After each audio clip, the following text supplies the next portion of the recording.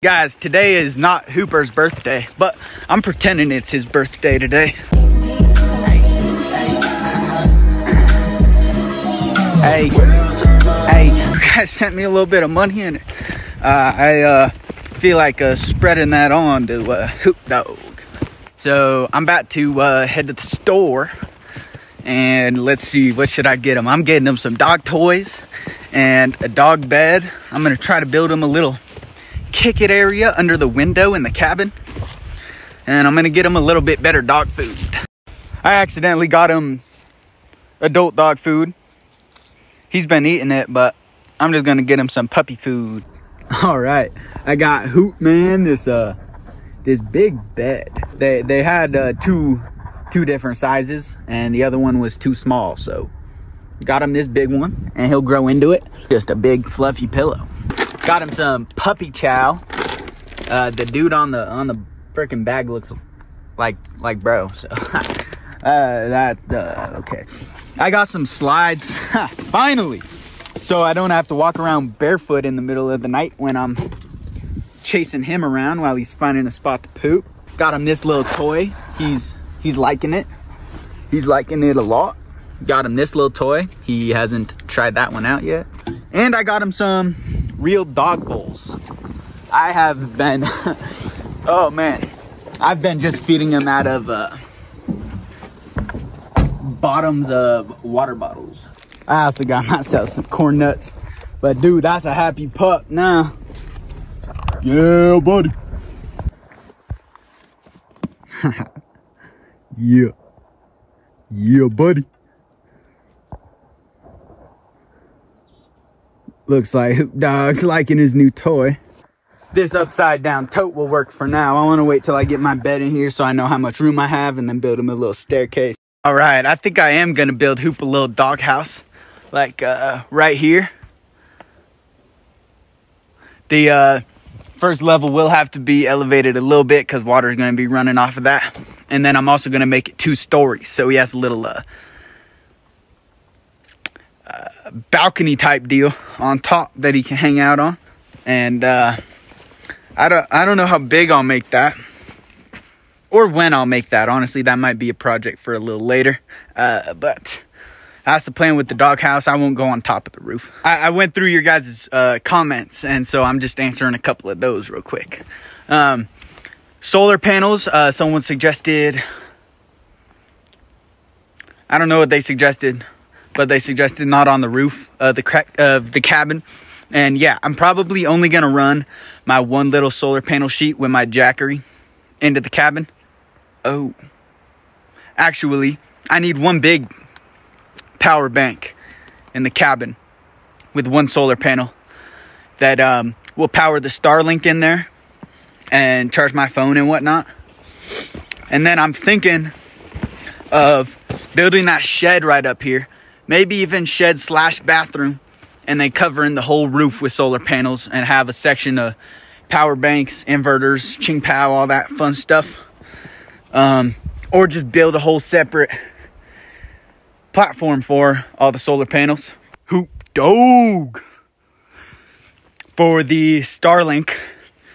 Um, I'm gonna, I have not figured out my plan for that. I obviously, I want it up here by the cabin Right now, it's down by the bus because that's the only spot with a good enough clearing to get signal from it. So I have a few options here. Here's the cabin. The, okay, the router has to be inside, but satellite can be wherever. I think the cord's maybe 50 feet long. Option one is I could climb this tree like 30 feet, cut it, place it on top, run the cord down the tree, along here and into the cabin. Dang, I need to make a hole to put a bunch of wires through. Maybe I can get them through that vent that I'm getting. We will see about that. This one's a little sketchy, but it actually would have better reception because even on this one, I got this tree in the way and a few uh, trees still in the way. You would think that that would be good, but I don't think it is. The other option is cutting this tree across the way same like 30 40 feet up putting it up there running the cord above the creek to this tree and down. I'd have to get an extension cord for that probably. That would be another idea. And I think the last option, which I think is the best option, is buy a few extension cords. I don't know. I think you need to get the like Starlink extension cords for it to work. I don't actually, I haven't looked into how much those cost, but I think I could keep the satellite down by the bus and run the cord all the way from the bus up to here. And I think that would work. I think also if I have enough power, then I can plug in Wi-Fi boosters, have the router wherever. I could even have it in the bus and just boost the Wi-Fi up here. Uh, gosh, I gotta go get Hooper. There he goes. He's probably hungry. Going to the bus. All right, I'm gonna go get him. But um, yeah, those are my options with the Starlink. I, I haven't decided yet. Loft bed was a cool idea I've been seeing. It would be a little bit warmer. Heat does rise. I learned that in high school. uh, it would give me uh, more room to store stuff underneath. So that's cool. Here's some of the cons I'm thinking about. It would be tougher to get up into bed, tougher to get Hooper up into bed, tougher to let Hooper down, tougher to get down, tougher to stoke the fire at night. You know? You know what I'm saying? Also, another con I wanted to just put my cot in there. And I don't think I could. I mean, I could elevate the cot maybe, but it wouldn't be uh it wouldn't be that efficient actually. I would probably have to build a little loft bed. And then I wouldn't really have a use for the cot. That's fine though. That would be fine. Um or I what do you guys think about just putting my bed and then at, at the height where I'm sitting on the bed, because I use the bed as a couch also. So when I'm sitting on it, right above my head, I build a loft to store stuff as opposed to storing stuff under where I sleep. That's that's kind of what I'm thinking. I don't know. I think I think I saw somebody say it'd be cool to move the bus closer to the cabin, and that absolutely would be true. I would totally use this for all my storage actually, but uh, it's um, not movable. Uh, those are the wheels. They are buried and there's not actually any wheels. Well, there's no tires. Uh, I, it's buried, basically. It's buried. Definitely not drivable. Uh, can't tow it. So that would be cool. I, I really got to figure out how to pimp out this bus. I think I got to cover all the windows with carpet, old carpet I can get for cheap. And uh, I don't know. It's also tough because all the firewood is over by the cabin. So if I'm storing firewood in here, I'm bringing logs down here and chopping it up or chopping up wood up there, storing it here and then bringing it back up there. And it's about 200, uh, I don't know, it's like 100 yards, 100 yard walk. I could do, I think I'm gonna do the music studio in here. But there's not the best sound in here either. But the cabin's a little small for a music studio. And so I think I do want to do the music studio in the bus. And then I guess I could do storage in here. I could store gasoline and propane and all that fun stuff. Hmm. Decisions to make and not a lot of time to make those decisions. Uh, okay. So I've had skylight suggested and that's something I've thought about. I'm going to pair, pair up skylight and awning because listen to this guys. I was thinking I was thinking this. If I do that awning over the porch, then um, it's going to be covering my only window.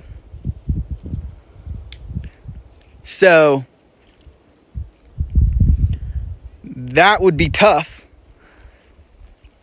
Uh, I'm thinking about doing like an awning just over the the left side, over where the door is, so that snow isn't uh isn't packing up right at the door. But a big awning would be cool, and I would be okay with doing a bigger awning.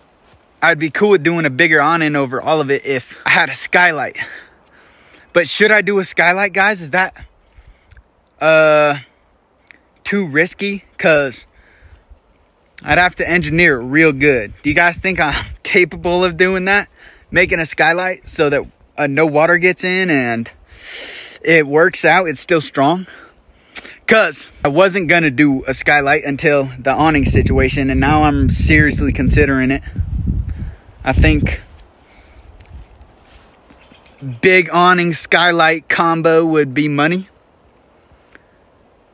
Or should I just do no skylight, figure out an awning that doesn't really block the sun from going in that, that one window in the front?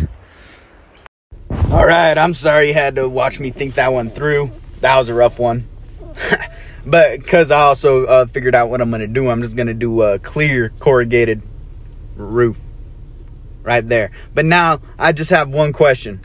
Should I make the awning slant down over the front of the porch or should I just have it match the pitch of the roof? That's the question I'm wondering. Thank you very much. Thank you very much. Hoop dog.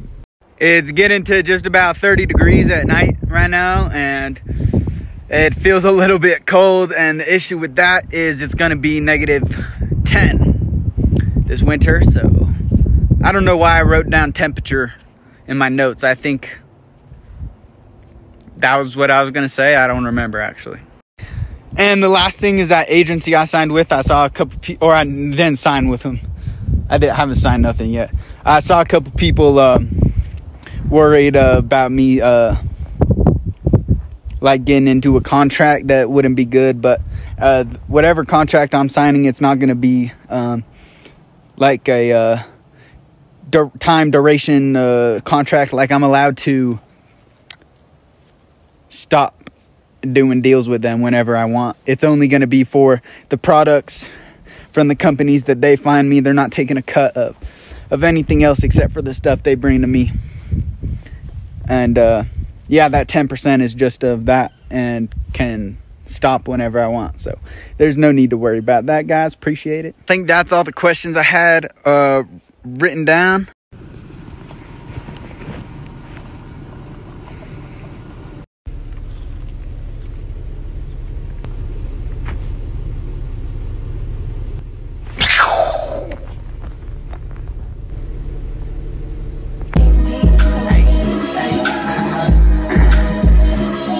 Hey, hey, I make the glizzy flip, wrap the string around the hook, wait for a tug and reel it in. Hey, I reel it in, looking out for bears, cause Willie eat the same food as him. I should probably buy what's though, but I can't find one on Craigslist and they expensive at the store. I'm in my bag looking for the silky and the axe. I'm in the river flipping rocks and stones. I'm looking for crawdads.